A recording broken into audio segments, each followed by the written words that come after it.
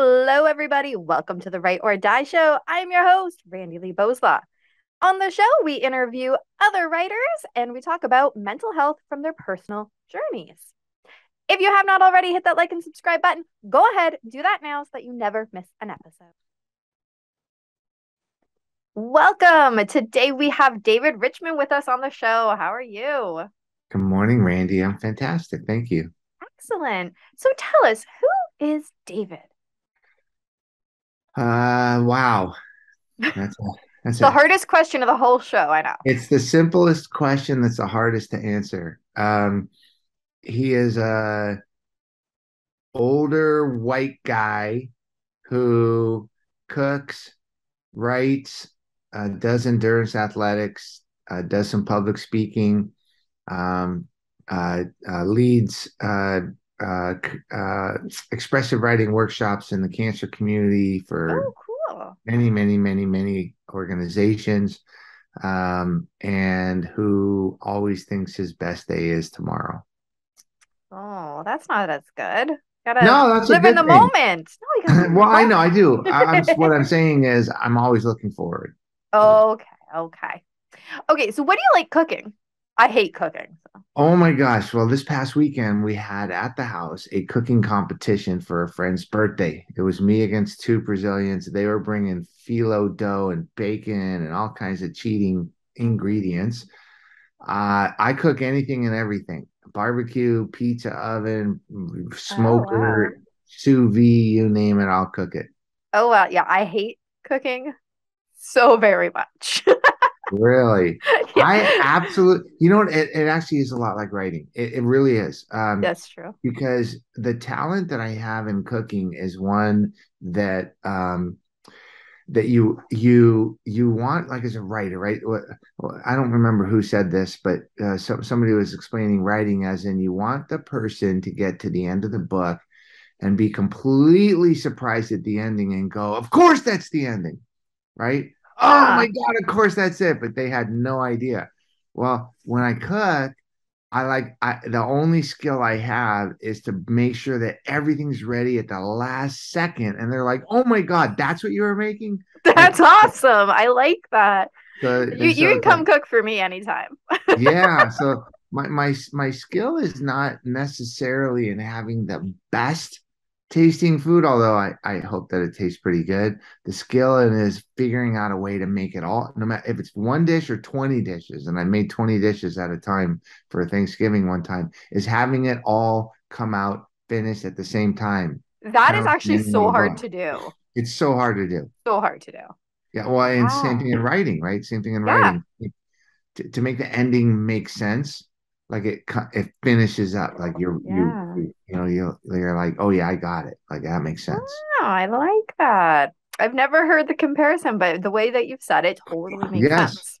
Nice. Okay, these these writing workshops for cancer. What tell yeah. me about that? That's interesting. Yeah, so I lead expressive writing workshops, which expressive writing is traditionally um, more like a journaling uh, uh, exercise, uh, uh dealing with uh, making a list or writing about your feelings or just expressing your inner thoughts a different way. It's really expressive writing has some very measurable health benefits, and through multiple studies that have been done over decades, they've proven that not just for your mental health, but also your physical health, expressive writing can be very helpful. So, I, I think the overall goal, Randy, of expressive writing is to understand how we speak in that inner voice so that maybe we can start to mm-hmm. change that. And yes. instead of of figuring out ways to protect our traumas and instead of figuring out ways to enhance our inner fears it's like a way to just kind of deal with those things in a different way what i do with my expressive writing workshops is i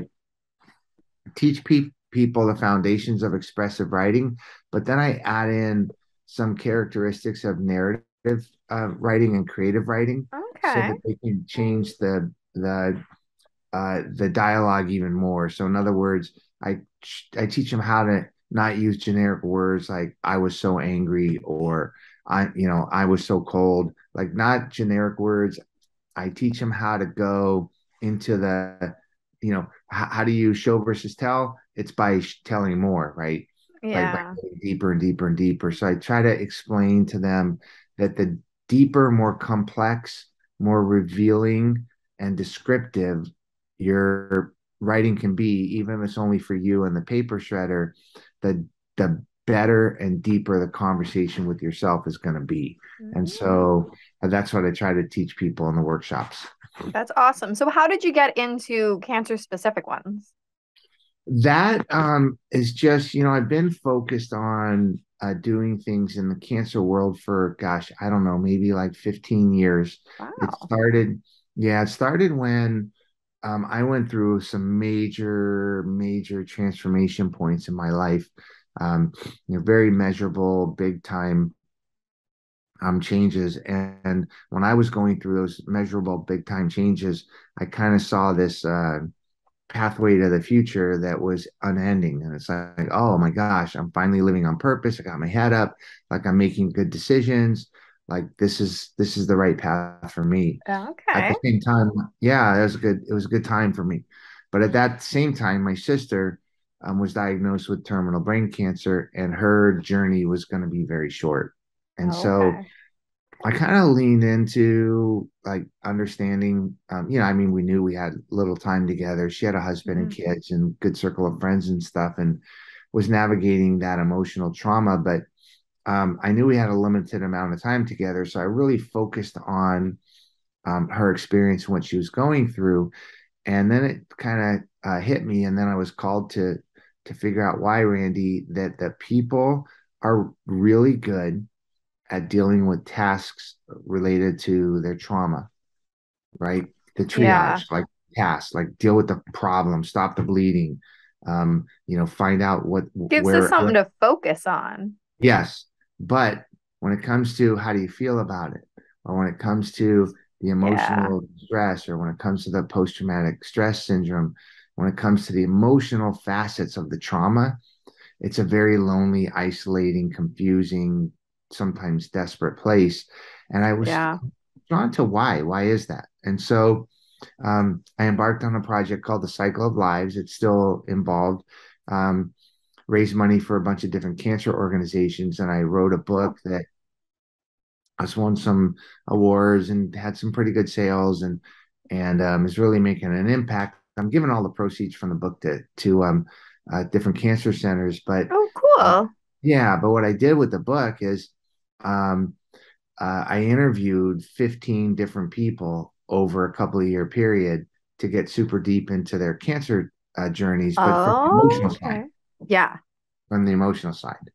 And um and and that um that led to this whole project. And one of the side things of this project has come in in uh, seeing the value that uh, expressive writing can do, especially in the cancer community. Yeah. I, I deal with other I, I help other communities too, but in the cancer community especially, it's a very lonely, isolating place, especially when it comes to the inner issues that that are going on. Yes, that is very true. So as you're talking, I'm having I'm having some little mini flashbacks here. Um, so I had cancer four years ago now. Mm. Um, and when you're talking about the emotional side of it, so much harder to deal with. Hundred percent, yes like there's there's no better way to say that than 100% you are correct. Um so at the time it was you know the doctor would say you need to do this appointment that appointment whatever and it's like okay yep done done done. And then if somebody would be like how you feeling? I'm fine. I just i have to do these things.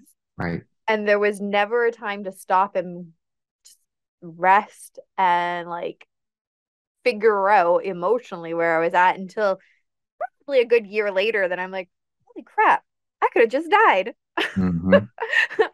but you're just for me, I was just in like this state of okay, this is what I have to do. This is what the doctor is telling me to do. Let's just focus, like you said, task oriented. It helps so much.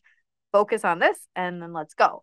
Um, and every time I would go to the cancer hospital, they had you fill out this little mini questionnaire and it was all about your emotional side. They wanted to make sure that you were doing well emotionally because that is way harder than the physical stuff, I think.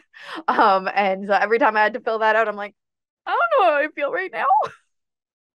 Yeah, and it, yeah, I, I totally get that because, and look, it makes sense that you're going to deal with the tasks related to your camp. That makes sense because you want to, Yeah. you know, that that's how we're wired is literally to jump in and say, "Oh my God, the house is flooding. What? How do I? How do I stop the water from coming Yep. in?" You know, um, but uh, eventually you do have to deal with the emotional side or uh, suppress your emotional issues related to and and I, I think that um that there's a, the special quality of humans is our need to bond with other humans. And hmm we really only do that uh we don't have a lot in common with people except for our emotions right? Yeah. We our experiences are totally different. Nobody's lives are the same. That the, the way we interpret things, the way we use language, the way we express ourselves, everything about us is unique, except for really we share the same basic human emotions. And when we don't know how to deal with the emotional issues, then we can't connect to each other in, in deep and authentic ways. And I thought, like, how tough is that? How many times have I heard in this project? Probably a thousand is the answer, but how many times have I heard you know, I took care of my husband, I took care of my dad, I took care of my daughter, I took care of my friend, you know, and I put the feeding tube in and I drove them to chemo and I helped them, you know, uh, put food on the table. But you know what? I I never really asked them how they were feeling, or I never felt like they were in a place to tell me how they were feeling, Yeah.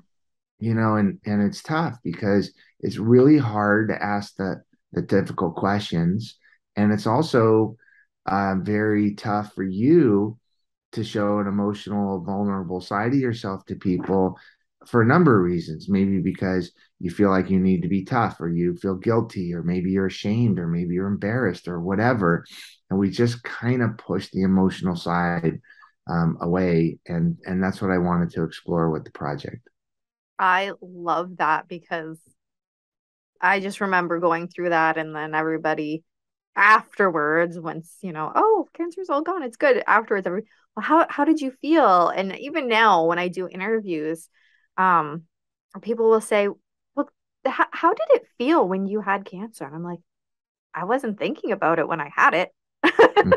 Right? Mhm. I was too busy surviving and doing all of the steps that needed to be done. I wasn't thinking about the actual cancer. It wasn't until later that I reflected back and dealt with all of that emotional baggage left over from it. Yeah, and uh, there's a million different types of therapy that you can employ.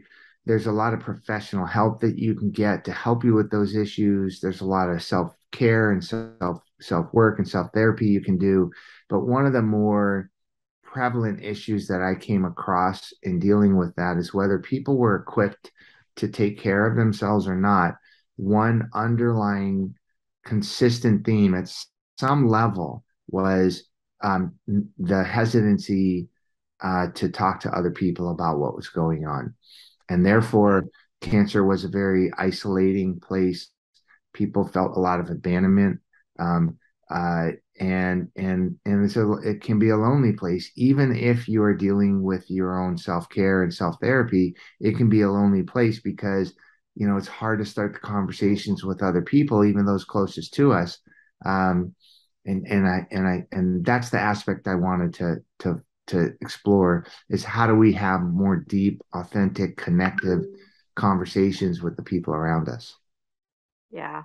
I you summed it up perfectly. So I'm just gonna I'm gonna sit here quietly. right.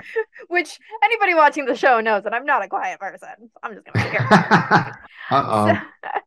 I know that, and that's a wrap. So, um, That's funny. so what about from your own? So that's that's what you've been doing. You've been helping everybody, Mhm. but what about for yourself? What kind of coping strategies have you used to deal with your own trauma throughout the years? Uh, well, I think writing is a really good way of exploring your traumas. And, y- you know, I think uh, trauma is interesting and people, pe the way that people deal with their traumas are interesting. You know, I mean, some people are super resilient. And so they just say, well, you know, bad things happen and you get over it, or wow, trouble happens, you'll bounce back quickly, or mm. what. I, I, mean, everybody deals with things. We, we all know people who, you know, break a finger and think that the world is ending, and somebody who loses a leg and says that's an opportunity for me to succeed, right? Everybody deals with trauma a different way. It's so and true. It's so true, right? And and I don't know what's right or wrong. Uh, it is just it's just an individual thing, and and I've had uh, what I consider like, okay, no, it's not that big of a deal. And other people are like, what? What happened to you? Oh, like, you know, and I, oh, now I'm intrigued. What happened? What happened? Oh my God. I could tell you things that, well, maybe they're not that big of a deal, but they, you know, I, I guess they are. I mean, I've had, I, I, you know, before I was 18 years old, I had a gun pointed to my loaded gun pointed to my face twice uh, with threats to pull the trigger. Why? Once I was robbed uh, at gunpoint working at a restaurant, oh. and another another time I was robbed at gunpoint in somebody's house. Um, and then when I oh threatened to call the police, they ran and and somebody else got a loaded gun and put it in my face and said, "You're not calling anyone. Get the hell out of here." Oh so, my goodness! See that that's traumatic to me. That's traumatic. Um, I think growing up, I had a lot of trauma as a kid. My parents had 40 years nearly 40 years age difference between them. Wow. So my mom was 21 when I was born, my dad was 59. And so I had a mom who was very, very angry and mean um, and really didn't want kids, and a dad who was really too old to have kids. So my sister and I were super close only because, like, we lived in a household where, yeah, we didn't really have a dad we could turn to, and our mom was not not somebody you wanted to turn to or could turn to. She was not a not a good person. Um, and so I think you know th- that's traumatic. I mean, is it traumatic like some people deal with in the world? No, but but all know, right. So here's where I will interject because yeah. we at the show. So I'm using the royal we, I guess, because I'm the only one that actually works for the show, well, and it's not really work, still volunteer. But anyways, we never compare ourselves with other people. And yeah. and I know that you have said that, um, but I just want the audience to know that one person's experience, whether they consider it traumatic or not traumatic, is still their experience. And another mm-hmm. person, and you had said it right, one person, you know, breaks a nail, it's the end of the world. One person loses a leg, and it's not a big deal.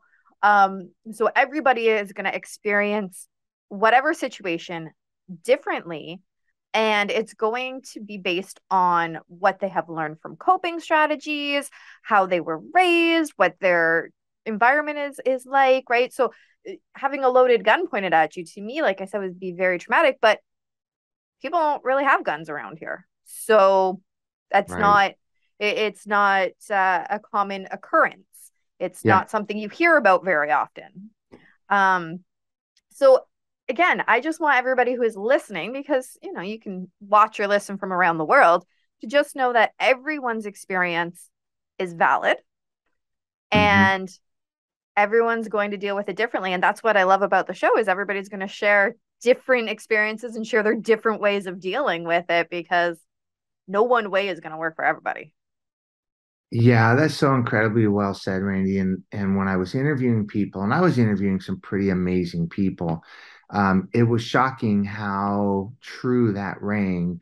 That just like I compare one person in the book um, is only has a fear of cancer, and the other another person in the book had five different cancers in her adult life. Holy moly!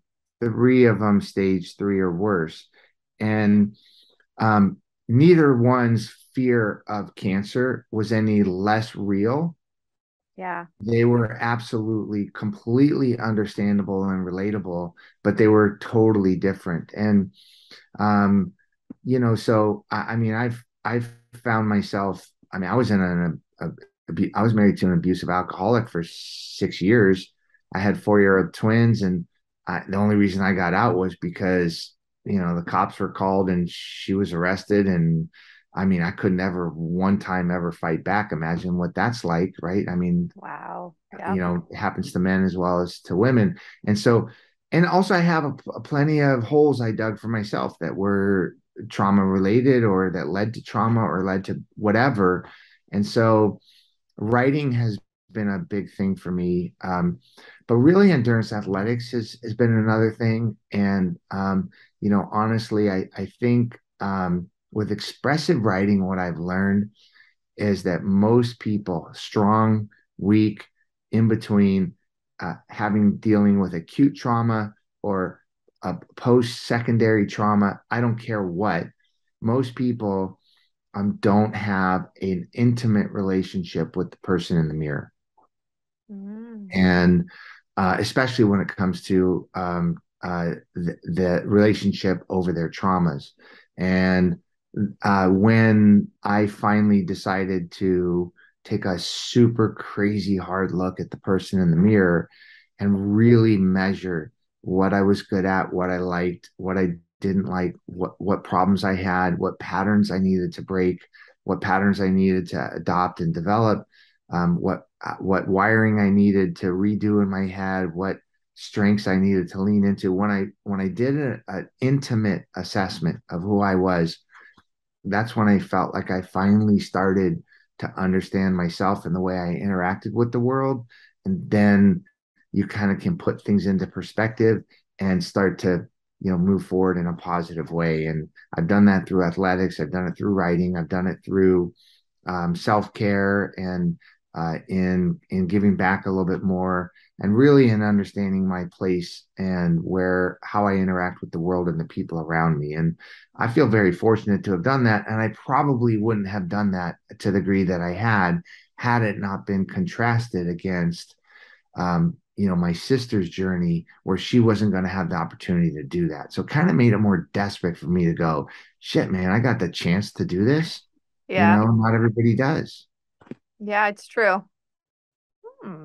so tell us a little bit um, more about this um, endurance training that you said is really helpful for you yeah so uh, uh, people are into meditation they write they do art they do yoga, um, they read a book, watch a movie, go for a walk in nature, get tattoos. I don't care what it is, but some things are zen like for people. They're their escapes, their ways of dealing with um, self care, therapy, whatever. Um, I didn't know it heading into it, but endurance athletics uh, became a place for me to do a lot of reflection and therapy and self care and and uh, exploration. Um, because when you're doing those things I just mentioned, they're occupying your your your your physical and your your emotional and, and mental state. Mm-hmm. But when you're, I don't know, for example, running for 10 hours in the desert, or you're on a you know six hour bike ride in the middle of nowhere, I mean, your mind really can work and it can work in really good ways. And I have solved more problems and made more gains in my uh, mental health, my psychological health, my uh, groundedness, my intimacy with myself, and uh, uh with with endurance athletics than with anything else. It's it's taught me more than anything because you learn so many lessons when you're alone with yourself dealing with adversity, even if it's self imposed adversity. Mm-hmm. Um, you learn so much and you become a real familiar with yourself in a very quiet way. You know, I mean, uh, you know, uh, writing a book is not quiet because your mind is so focused on the book that you know, yeah, I, it's an escape. Okay, it's whatever, but you don't get the chance to work on yourself. You're working on the project. You know. Mm-hmm. And so, and with with meditation or or or therapy or or yoga, I thought, you know what? I get like 60 minutes. I get like 90 minutes, but mm-hmm. I don't man, it takes like 90 minutes for my mind to just slow down. And so, yeah. you know, and so what endurance athletics did, you know, when you're in the middle of a, you know, a, a 12 hour Ironman or, you know, I've done, I've done my, my most ridiculous athletic adventure was a 5,000 mile solo bike ride. Wow. And, and when you're doing that kind of stuff, trust me, you can solve a lot of freaking problems. yeah. Oh my gosh. I will leave that to you. Well, I'm not saying I'm not prescribing it for anyone. I'm just no, no, I know. you It know, works for you and it might work for somebody else. And a it, it, lesser it- amount okay. of time works for me. Mhm. Just- I don't think I could do Yeah. 5,000 miles. No. Um, yeah, but you know what? If you when you set a goal, who doesn't feel good setting a goal that's just for themselves and doing whatever they need to achieve it? yeah. And then, I mean, you've got what what like 100 and, 130 episodes, 160. How many episodes you have? Um, I think like 120, Okay, Something like 120. that. When you when you first started this, did you go, okay, I want to put together something interesting? Okay, you did that. And then you had another goal that said, okay, I want to do 50 episodes. I want to, could you imagine ever getting to 100 episodes? Could you imagine getting downloaded in whatever, 15 countries or whatever the goals were? Yeah. And when you work to achieve it, I mean, how amazing does it feel? How much do you learn about yourself? Pretty do you, damn good. right? And Mhm. so um, that's the thing with me with endurance athletics is I'll tell you a super quick story. I did a 87 mile rollerblade race in Georgia. Okay. Oh, that's cool. Yeah, except for if you don't know how to rollerblade, which I wasn't a real good rollerblader. But I used a rollerblade as a teenager. A okay, long could time you ago. imagine rollerblading at 87 miles? No. Yeah, I mean, it's, it's just stupid. I was never So even good at stopping. yeah, I neither was I. I was the, literally, Randy, I was the single because these were like real people. I was the one guy who had the brake on the back of the rollerblade. all the pros they just slide the other back foot sideways to stop. I Oh. didn't know how to do that. I used the Oh. little brake on the back of the Yeah, that's what it's for, isn't Um, it? Yeah, and everybody looked at me funny, like, "What kind of rollerblades are you wearing?" And I mean, this is a real race. So about 30 miles in to the race, I was like three and a half, four hours in. I hit the wall. I was done. I couldn't make it another step. Like it was it. I was I was over. But I still had like 60 miles to go, or I could go home Yeah. and I didn't want to go home. And so I just figured out a way to just like keep going. And when you figure out a way to keep going, you know, uh, it's just one, you know, I got to do one more thing before I get this right. I got one more thing to get to my goal. It's like it's a learning exercise. And so hmm um, I, I don't know if you're, I'm not going to assume anything, but I'm guessing that your podcast, as much as you brought to other people, has also given you a much better Oh, yes. understanding of, of who you are. And I love my podcast. I want it to one day just be what I do all the time. Right? Yeah. And so, how rewarding is that? And it's also probably a journey of discovery. Um, Yeah.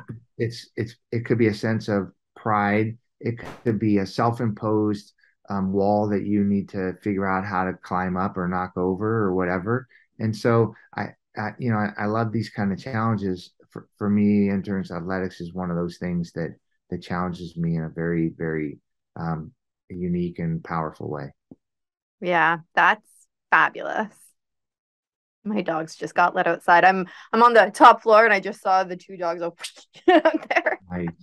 nice. Um, that's fantastic that you, you know, and it's just like what you've been saying this whole time. If you set yourself whatever goal it is, whether you like meditation, whether you like rollerblading, whether you like podcasting, um, Mhm. you set the goal and you feel so good when you hit it. Like I remember when I hit my first the the first 50 subscribers, I was like running around with my phone. I'm like, you know, then it was and it right. just kept going, right? Because it's Yeah. so exciting to do Yeah. that. It It- makes it's you really feel cool. good.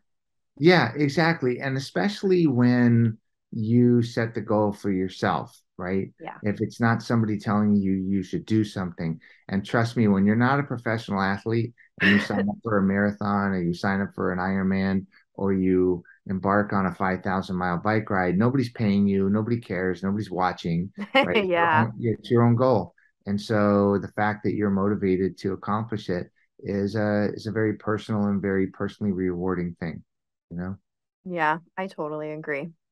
So, what is your unsolicited piece of advice for somebody who is listening right now who is trying to figure out what would be something helpful for them? And you don't know this person very well. They're just, you know, they're just listening, going, hmm, I'm really vibing with you. but I, I need one more little one more little piece of unsolicited advice. Hey, I'm not great at giving advice, but I I would say I have observation. Oh, okay. I like the, that. the, the observation is when I was doing the book Cycle of Lives and I'm interviewing, you know, dozens and dozens of people for a book about the emotional journeys with cancer, what I really observed was the true depth of the idea that you don't know what people are going through or what they have gone through. You have you have no idea. Yeah. I mean, you have literally no idea. And um, it, it's it the true depth of that thought is really sobering because um, you know you could and I'm you know I don't wish this upon you, but you could have just walked into this room and put on the happiest face after having a most miserable experience five minutes before, Yeah. or you could have to I don't know go fire an employee five minutes from now, and that's weighing you down. Or maybe you're dealing with the death of a pet or maybe you're dealing with you know failing at some goal and feeling absolutely miserable. I mean there's a million things that we could say that are absolutely true that Yeah. anybody could be going through at any time. And my observation is that no matter what you think you know about someone and what you try to read in your interaction with them there's so much more behind the scenes there's so much more under the surface and with you but but also with them and and Mhm. my observation is what's missing from people's worlds a lot of time is true deep authentic connection with people that are there that are present that are listening that can ask the right question that can tell me more and can be there to help them through a difficult moment or a difficult time or you know whatever and so i don't have advice but i have an observation and that is That's you good. know when you when you're hiding something that 20 somethings that are going on in your life that you don't let others know about because you don't want to bring them down or you're ashamed or you're embarrassed or you're afraid or whatever trust me every single person you're coming across is dealing with that, that same thing Ah, that is great observation. So, where do we get this book? ah, well the book is available wherever books are sold uh, it it did hit Amazon bestseller status uh, after it came out. It's still doing pretty good. The sales are pretty good. It, ha- it has an Audible version. Ooh, I love Audible. Yeah, you know it's really cool. It's, so it's 15 different stories, and in between the stories is my narrative of the bike ride and kind of some of the thoughts about um, uh, my grief over losing my sister. But the 15 stories are super crazy, inspiring, human experience type stories. Um, and I had 15 different actors do each one of those 15 people. So Oh, I yeah, that sound, it sounds way better to listen to this. yeah, the Audible's really cool. So I narrated the in between the transitions, but I had 15 voiceover actors uh, do the 15 different uh, parts of the book that that are you Oh, know, first person from those people's experience. So the Audible is great. Um, and then of course, you know, I do workshops and public speaking and I sell, you know, sell books, you know, during those times or give them away or whatever. So just look up Cycle of Lives, look up David Richman and and we, we will connect if you think you could be touched by it. that's awesome. And where do people follow you? At cycleoflives.org. I have uh, Facebook and Instagram and all that nonsense that we have to have when we're building audiences, but um, but really they can go to cycleoflives.org Okay. and see the different organizations that are supported. You find out about all the different projects I'm working on, and maybe hopefully be inspired to uh, to uh, form some deeper connections with people. Excellent. And so we're going to have that link down in the description below. Yeah. Um, and thank you again so much, David, for coming on the show and sharing with us. Yeah, you're welcome, Randy. Appreciate you taking the time and continued success on your podcast. And one of these days when you go, you, I remember I was telling that guy when I could do this for a living. When you're doing it for a living, call me back and have me again. I will. I'll be like, yo, guess what? Yeah, Love it. I hit my goal. Yep. As Yeah. always, thank you so much for the amazing guests that we have on the show. Um, be sure to check out their links down in the description below. If you want to support the channel, go ahead and check out our merch store. We've got some very cool things on there. That's my favorite. Sorry, I'm busy ending the stigma. Um, but there's some other very cool designs. 10% of the proceeds always goes back to the Canadian Mental Health Association. Be sure to follow us on Facebook at RB Media because we have some great new shows coming up and you never want to miss any of those episodes. And remember, the only way to end the stigma of mental health is to speak openly and honestly. Bye.